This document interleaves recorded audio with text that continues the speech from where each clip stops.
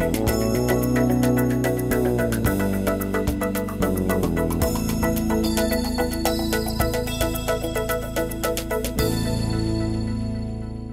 Bonjour, c'est la dernière ligne droite chez GAD à l'Ampol Guimilio. Ce jeudi, les salariés ont cessé le travail et se sont réunis en assemblée générale.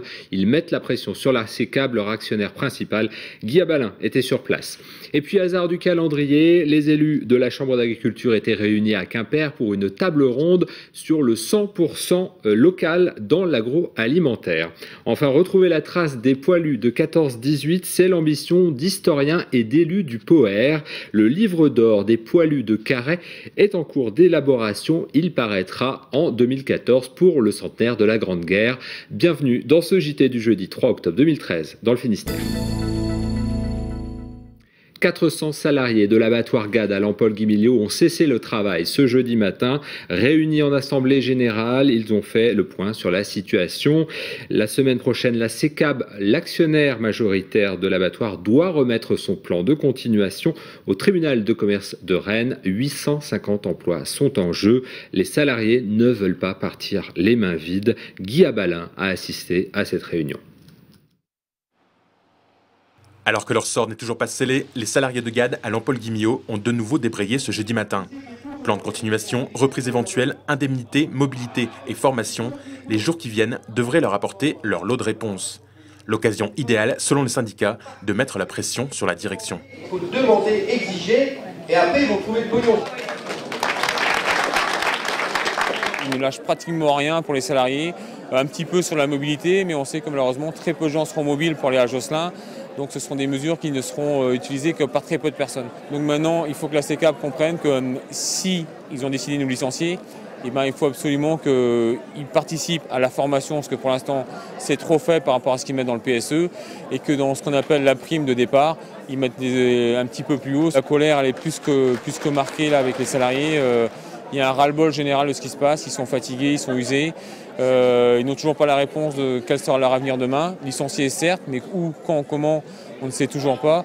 Euh, je le dis tout de suite, il y a un moment où nous, on ne pourra plus maîtriser. Donc euh, les dirigeants de la CECAM, cette poignée de dirigeants qui résistent, prennent leurs responsabilités parce que c'est eux qui ont la responsabilité de ce qui se passe là. Sans que l'espoir d'un maintien de l'emploi à l'Empol Guimillot via un repreneur ou une coopérative soit totalement abandonné, les salariés de GAD vont désormais durcir le ton histoire au pire de ne pas partir les poches vides. On reste dans le domaine de l'agroalimentaire et ce jeudi à Quimper, une table ronde intitulée L'agroalimentaire 100% local, 100% possible, point d'interrogation, était organisée. L'occasion d'interviewer les élus de la Chambre d'agriculture sur le plan pour l'agroalimentaire annoncé lundi par Guillaume Garot à Quimper. On écoute André Sergent au micro de Sophie Lecroisier. À notre niveau, on a compris une chose, c'est que lorsqu'il y a un ministre qui vient nous voir, euh, ben, ce n'est plus comme dans le temps euh, où euh, il sortait le carnet de et il arrivait à faire quelque part taire tout le monde. Aujourd'hui, finalement, c'est à nous de nous prendre en main. C'est vrai, dans les mesures, c'est plutôt abstrait. Par contre, il y a eu quand même des moments forts quand on nous a dit que notre Finistère et notre région Bretagne, c'est quand même une région de production pour l'exportation. Donc c'est quand même des paroles assez fortes qui ont été tenues lundi dernier qu'on n'avait pas forcément l'habitude d'entendre ici. Sous-entendu qu'à un moment donné, on se disait que finalement, en, produisant uniquement localement, euh, on s'en sortirait, quoi, avec les Bretons en autarcie quelque part. Quoi. Donc euh, je crois que ça, ça a été quand même évoqué et, c'est une évidence pour l'économie de notre territoire et nos emplois qui vont avec. Et puis autre sujet de réaction des élus euh, de la Chambre d'agriculture, les mesures de la politique agricole commune, la PAC, en faveur notamment de l'élevage. Aujourd'hui, quand je lis la presse, je vois que le président aurait orienté donc euh, la, PAC plus en faveur du secteur élevage. Ce qui est sûr et qui est vrai pour le secteur euh, des montagnes, oui, c'est clair. Et, tant mieux, quand on connaît les conditions qu'ils ont pour faire de l'élevage dans ces régions-là, c'est normal. Par contre, pour ce qui nous concerne, il faut quand même qu'on soit très vigilant. Et j'ai l'impression qu'entre l'affichage et ce qu'il y aura concrètement en chiffres, il y a un décalage. Et ça, ça me fait peur. Dans le paiement redistributif notamment, qui a été beaucoup en discussion, on voit bien que le ministre avait une marge de manœuvre. Et en termes de pourcentage, en fait, d'une enveloppe, hein, en gros c'est ça. Et sur les éléments que j'ai, a priori, on est plutôt dans le bas du pourcentage. Les incidences, ça peut être, euh, si c'est vraiment en, chiffres trop brutal, moi je crains encore dans le secteur d'élevage, euh, bah, peut-être un hécatombe quoi, de gens qui ne pourront plus continuer. De toute façon, on, voit bien l'orientation qui est donnée à la politique agricole commune, à savoir euh, quand même une baisse des aides malgré tout. Et c'est pour ça que dans le second pilier de la PAC, où il y a tout un volet qui est en lien avec la compétitivité de nos structures d'exploitation, il faut quand même qu'on regarde de très très près cette partie-là également. Allez, un mot de défense maintenant. Jean-Yves Le Drian a précisé ce jeudi le plan de réorganisation du secteur de la défense.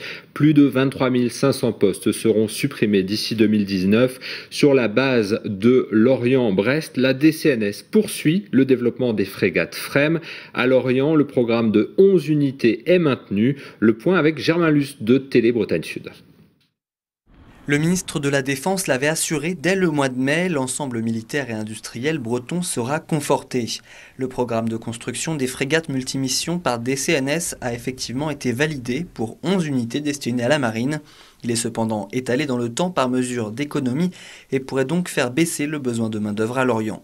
Il nous appartient, et c'est au cœur de notre stratégie de croissance, de compenser cette baisse potentielle de charges par notre développement, que ce soit à l'international ou dans le secteur des énergies.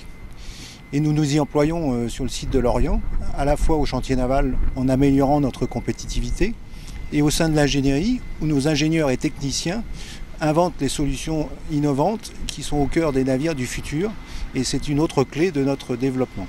De leur côté, les syndicalistes CGT s'inquiètent de l'ambiguïté des annonces concernant le nombre de frégates.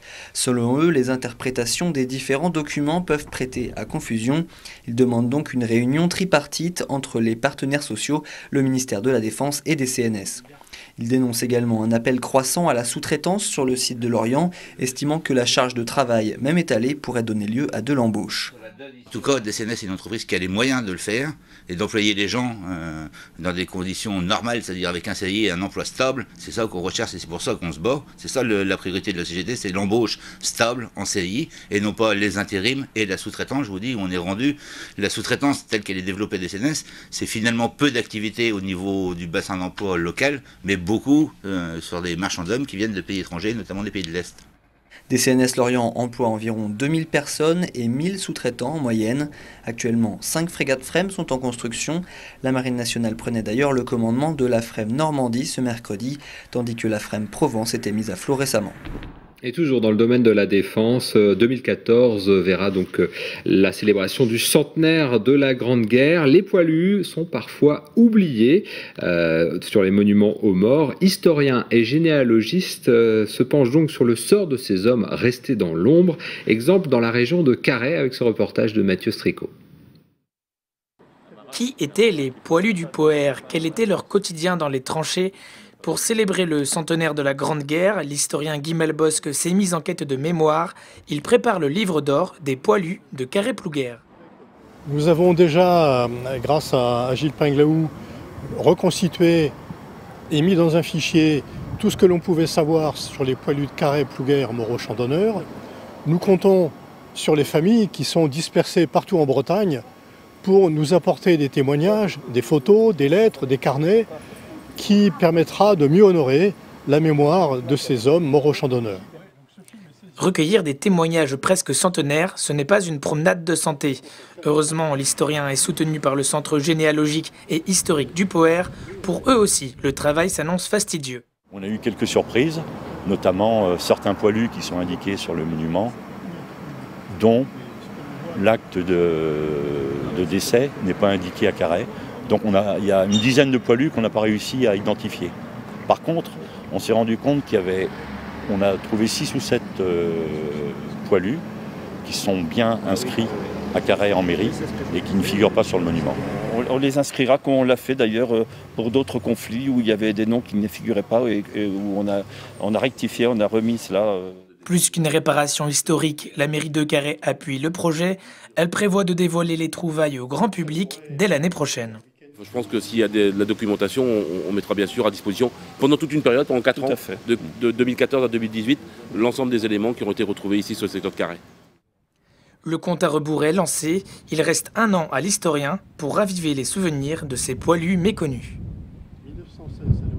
Et le livre d'or donc des poilus de carré paraîtra en novembre 2014. Si vous voulez aider ces historiens et ces généalogistes dans leur recherche, vous pouvez consulter le site internet de la ville de Carré, ville carré.com. Et puis pour terminer, un petit mot euh, qu'on appelle souvent carnet rose. La famille TBO s'agrandit. Toute l'équipe euh, de votre télévision est heureuse de vous annoncer un heureux événement, l'arrivée de Colin Boucher, le fils de Stéphanie et Christophe Boucher, notre rédacteur en chef adjoint. Bienvenue à Colin. Merci beaucoup de nous avoir suivis. On se retrouve demain à 18h30 pour un nouveau point sur l'information locale et régionale. Merci de votre fidélité. Bonne soirée à vous.